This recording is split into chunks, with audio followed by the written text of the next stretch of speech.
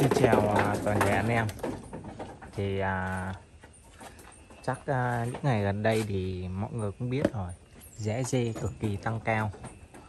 Và chiến dịch sắp tới của mình Thì à, như đợt trước thì mọi người cũng biết là mình có nuôi dê Và sau một thời gian nuôi thì mình thấy cái bầy dê đó nó không hiệu quả. Mà mình đã thanh lý hết luôn à, bày chỗ này nó khoảng tầm à, ba mươi mấy gần bốn chục con gì đó. Với lại một phần là mình sắp sửa sửa lại cái chuồng này để chắc à, qua tuần ừ, mình sẽ vào dê nó. Mình đã lựa được một bầy dê nó, nó đẹp hơn và nó nó đẹp hơn và mình thấy bầy đấy là mình có thể làm giống được. Mình mới mua. Thì à, hôm nay mình quay mình chia sẻ với anh em. Đây. Chuồng dê thì nói chung là bên chuồng bên này thì mới sửa xe lại một xíu. Còn chuồng à, bên này nó còn đang còn mấy cái này nó đang bị à, bị lỗ với lại bên kia nó đang chưa có được ổn phải chưa có sửa.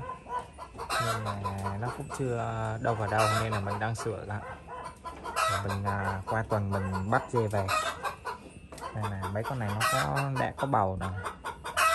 Thì à, mình chỉ giữ lại một số con này. Và đa phần là mình sẽ ban hết. Đây là dê đực đây.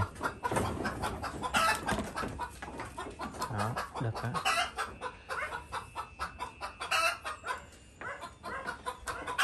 đây còn lại được à, hai bốn con chỗ này mình dự định là nuôi à, tầm nuôi mấy con.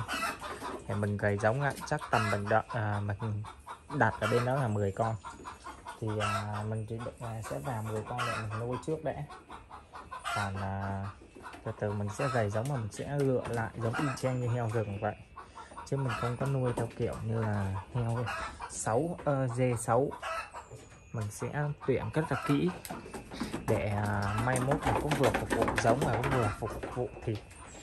Còn à, dê nhà mình đây ăn bằng cỏ. Cỏ xay. Khi nào cái cỏ này xay xong dê nó ăn chén mình sẽ đổ cho heo được ăn. Thì cái cái vòng lọc của mình là như vậy. Sắp tới mình sẽ triển khai triển khai như thế. Và mình à, đây này. Đây như mọi người đang nhìn thấy đây này phân dê thì mình bón ra ngoài cây trồng.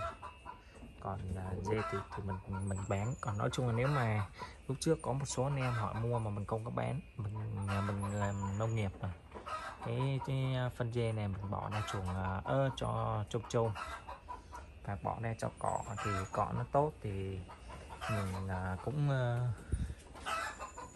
mình cũng được hưởng. Đấy đây, đây là bốn con cái hết.